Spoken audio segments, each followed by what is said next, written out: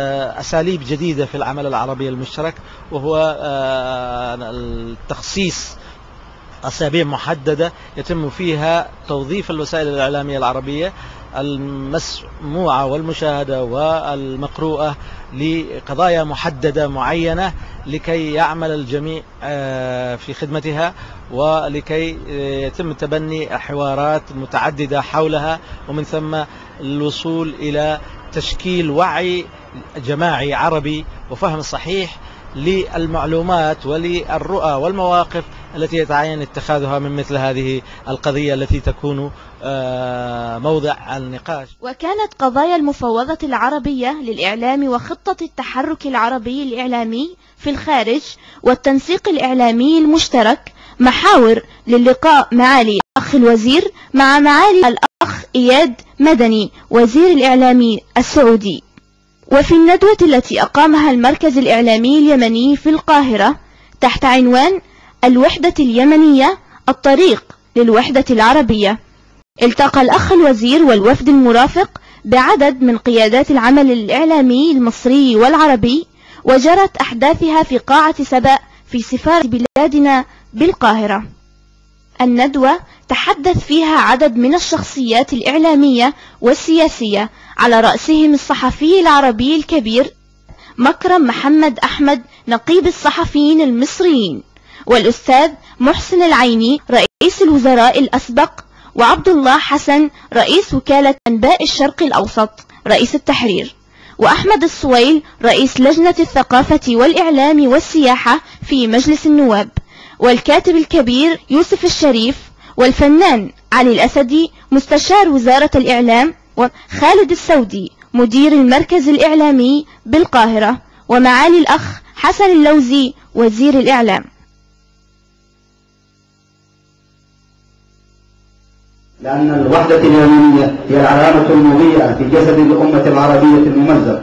وتبقى هذه الوحدة مدرسة للشرفاء وقصيدة للشعراء ومأوى للمنصفين والأوفياء فبالوقت الذي كان آباؤنا يتمنون وحلمنا من ورائهم وخلفهم بتحقيق الوحدة العربية وتوالت, وتوالت الأيام ومرت السنوات فصرنا اليوم نسعى وننهج ونتحدث فنضع أيدينا على قلوبنا خوفا على الوحدة الوطنية لكل قطر عربي. إذ باتت الأهواء المذهبية والطائفية والجهوية والطموحات السياسية المحدودية القدرة والأفكار تعصف بالبلدان العربية وتبكي الفرقة عندما تصب نار الخلافات على زيت التنافر في اليمن كما هو الحال في الكثير من بلدان العالم شهدت إبداعات عبرت عن حاجة الناس للخلاص من جبروت ظلم جثم طويلا وتسبب في تشكل واقع مرير من البؤس والتخلف. فكانت الثورات وبفعل مجمل النضالات التي آزرتها إبداعات أدب وفن وكما كان لها دور في قيام الثورة كان لها دور ثان قامت به من أجل استعادة الوحدة اليمنية.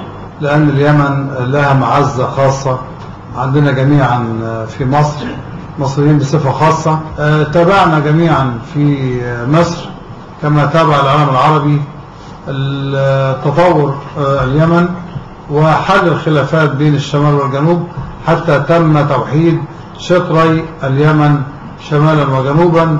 وبكده تمكنت اليمن بخبرة أبنائها ووطنيتهم وعروبتهم في التخلص من مشكلة كبيرة. رئيس علي عبد الله صالح كان له دور كبير. هذا المنجز الكبير الثاني والعشرين من مايو 1990 كان سفرا وطنيا كبيرا جدا. عاشت فيه اليمن لحظات صعبة لحظات مريرة وكانت الوحدة هي العنوان الدافئ لكل لحظات الإقتتال وكل لحظات الصراع اليمني اليمني. لكنني أقول وبإيجاز أولا أن الوحدة كانت إرادة جماهيرية. وهي أكبر من كل المشاريع. وسجلنا صفحة جديدة. أفقنا على حقائق جديدة في التاريخ والجغرافيا والاقتصاد. التقينا مباشرة علي ناصر محمد وعبد الفتاح إسماعيل وفي حديث صريح وجدنا أنه لا خلاص من النزاع بين الشطرين إلا بالوحدة. وإذا كيف نضع أسسها؟ ما فعلناه في تلك الأمسيتين هو أننا أخرجنا الشطرين من الحرب والصراع إلى الحوار. فبدأت اللجان الثمان في العمل وفي الحقيقة الفضل للوحدة هو لمن حققها هو للرئيس علي عبد الله صالح ولرفاقه القادة المخلصين من الجنوب والشمال. وما يجب أن نفعله الآن هو أن نحرص جميعا على أن نقف معه ومع اليمن لنجعل من هذه الوحدة نقطة مضيئة وطريقا مشعا لتحقيق الوحدة العربية. لأن أنا بعتبر أن فترة عملي المباشر للعراق في اليمن.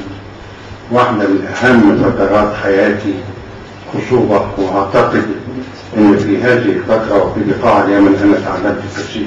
الثورة نقلت اليمن يعني نقلة كبيرة في هذه الفترة أيضا كانت إنجليز وكانت وقت احتلال وكان ربما أيضا الوضع الأمامي كان يحرص على شق اليمن اليمن الأسفل واليمن الأعلى يمن الزيود ويمن الشوارع يمن السهل ويمن الجبل اليمن المقاتل واليمن المجاع الفصل الشديد الذي كان موجودا ما بين اليمنيين اليمنيين لكن في واقع الأمر الله حصل في هذه الفترة المبكرة أن الوحدة كانت تسكن قلب كل يمن كل يمني كان يعتبر بالفعل أن الوحدة دي هدف نهائي وهي الذي يمكن لا يمكن أن يتحقق لليمن اكتماله إلا بوقوع الوحدة. كانت الوحدة في ضمير كل مواطن يمن في ضمير القبل وفي ضمير المثقف وفي ضمير المسؤول وفي ضمير الجميع أن الوحدة لابد أن تتحقق. وكانت بالفعل تشكل هاجس يكاد يكاد يكون يومي لكن في النهاية أظن أنه انتهت بوحدة اليمن وانتهت بالفعل بأن اليمن أصبح موحد. ولا أظن أن في مقدور أي أحد على وجه الإطلاق أن يعيد عقارب الساعة إلى الوراء. الوحدة اليمنية نصر العودة إلى الحياة الحرة الكريمة في كمال الهيئة الوطنية الراسخة الجذور منذ أول التاريخ اليمني الحضاري. وهي تمثل اليوم العودة إلى نقاء الصورة وقوة التكون والبنية المتكاملة أرضا وشعبا ونظاما دستوريا متطورا وجغرافية وتاريخا من جديد. ولتبدأ الوحدة بقوتها وبفعل أبعادها في الحاضر اليمني في تشكيل صورة المجتمع الديمقراطي الحر كما ينحت قسماتها المتميزة ويصنع تحولاتها ويدفع حركتها الإنجازية البارزة فخامة الأخ علي عبد الله صالح رئيس الجمهورية. باني مجتمع الوحدة والحرية والديمقراطية والتنمية المتواصلة. وبلادنا اليمن عرفت عرفت كدولة واحدة منذ بدأ فيها التاريخ المكتوب. وتكونت الحضارة اليمنية عبر الممالك المتعاقبة ليبلغ شعبنا الأبي المكافح ذروة انتصار الثورة اليمنية المباركة بالإنجاز التاريخي العملاق إعادة تحقيق الوحدة اليمنية أغلى, أغلى وأقدس غايات الشعب والوطن والثورة على حد سواء. ولذلك من الضروري أن نعرف ويعرف الجميع للتاريخ وخاصة للأجيال الصاعدة. من هم الذين دافعوا عن الوحدة؟ وبكل صدق وإخلاص وتفان وتضحية. إن الشعب اليمني كله هو الذي دافع عن الوحدة وحافظ على الجمهورية. محاور الندوة لاقت اهتماما بالغا وأصداء واسعة في وسائل الإعلام المصرية وحضرها الأستاذ محمد عبد الإله القاضي عضو اللجنة العامة وعدد من أعضاء مجلس النواب والسياسيين والفنانين ومستشار وزير المالية فؤاد الكميم ونائب سفير بلادنا بالقاهرة علي العمدي وعدد من أعضاء السلك الدبلوماسي اليمني والإعلاميين والمهتمين.